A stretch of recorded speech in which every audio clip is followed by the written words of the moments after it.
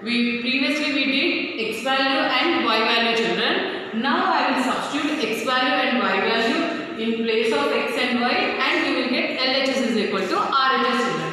So x value we got x is equal to 1 and y value we got y is equal to 1. Now we will substitute this value and we will verify whether our problem is correct or not. Now if you see children, first equation, take first equation 3 into 1 plus 1 plus of 3 into 1 plus minus 1 is equal to 3 by 4 children. That means 1 by 3 plus 1 plus 1 by 3 minus 1 is equal to 3 by 4. Is 1 by 4 plus 1 by 2 is equal to 3 by 4. Children, if you see here, LCM is not equal. So, 1 by 4 plus 1 by 2 multiply and divide with 2 so that our LCM will be equal children. So, is equal to 3 by 4. 1 plus 4 plus 2 by 4 is equal to 3 by 4.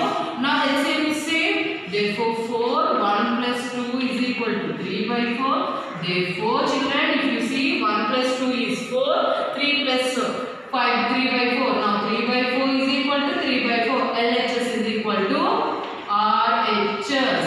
Now, this is equation 1. We proved equation 1. Now, we will see equation 2. Now, 1 by 2 into 3 into 1 my plus 1 minus 1 by 2 into 3 into 1 minus 1 is equal to minus 1 by 8. So here we will prove here LHS is equal to RHS 1 by 8. Here left hand side we will get 1 by 8 children see here.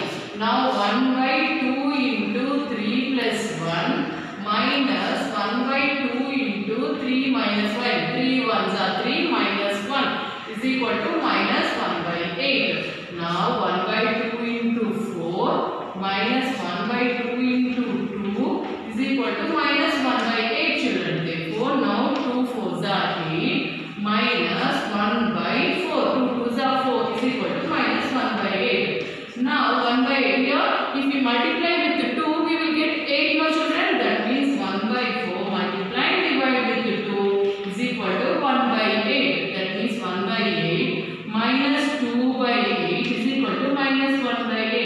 If you see here denominator is 8. 1 minus 2 is equal to minus 1 by 8. Now 1 minus 2 in front of big number minus value is there.